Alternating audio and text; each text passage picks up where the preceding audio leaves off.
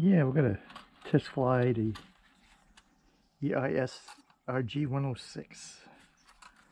See how she goes here in a minute.